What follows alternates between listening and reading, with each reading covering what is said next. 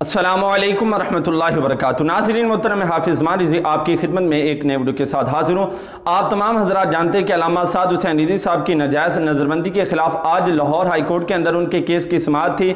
تو آج ان کے کیس کی سماعت ہو چکی ہے اور فیصلہ آیا ہے اور فیصلہ بھی وہ آیا ہے کہ حکومت نے اپنی تمام حدیں جو ہیں وہ کراس کر گئی ہے بغیرتی کی۔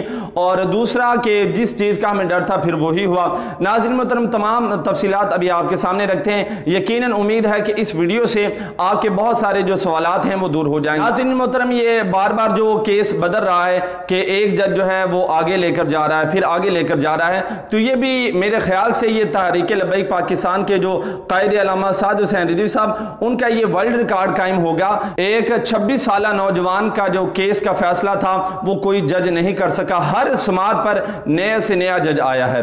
تو ناظرین محترم، ابھی بھی یہی ہوا۔ جشن رفیق صاحب، انہوں نے کیا کیا ہے کہ تاریخ جو ہے وہ آگے کر دی ہے اور انہوں نے کہا کہ چھ ستمبر کو جو ہے علامہ سعد حسین رضی صاحب کی کیس کی سماعت ہوگی اور انشاءاللہ چھ ستمبر کو جو ہے وہ تمام ججز کی چھٹیاں ختم ہو جانی ہیں۔ چونکہ مارچ کے اندر جو ججز ہوتے ہیں ان کی چھٹیاں ہوتی ہیں اور سنگل بینچ لگتا ہے۔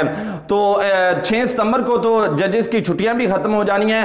تو پھر فیصلہ ہوگا کہ ایک بینچ جو ہے دو بینچ یا تھری بینچ جو ہے وہ علامہ سعد حسین رضی صاحب کی کیس کی سماعت کرتے ہیں یا کیا ہوتا ہے۔ یہ سارا پروسیجر ہمیں چھ ستمبر کو پتا چلے گا اور انشاءاللہ اس حوالہ سے جو ہی کوئی لیٹس اپڈیٹ آتی ہے یا وکلا ہمیں کچھ بتاتے ہیں، تو وہ بھی آپ کو اس چینل پر مل جائے گا۔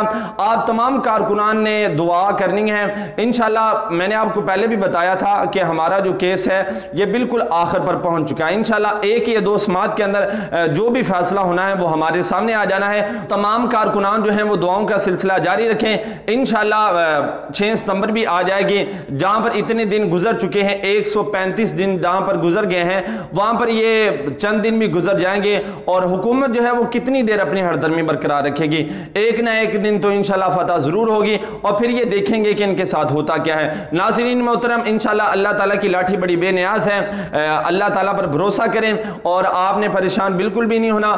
میں کمنٹ کے اندر دیکھتا ہوں کہ کافی دوست جو ہیں وہ بہت زیادہ پریشان ہوتے ہیں۔ تو یار، کوئی بات نہیں ہے۔ یہ ہمارے جو پہلے انبیاء تھے یا ہمارے بزرگ جو تھے، انہوں نے بھی جیلیں کاٹی ہیں، ہمارے بڑے بزرگوں نے بھی۔ تو یہ تو ہمارے بزرگوں کی سنت ہے اور یہ ہم پر جو ہے ظلم و ستم جو ہو رہا ہے، یہ کتنی دیر کریں گے؟ انشاءاللہ ایک نہ ایک دن تو فتح ہوگی۔ ناظرین محترم، ملتے ایک نئے ویڈیو کے ساتھ، تب تک کے لیے اللہ حافظ۔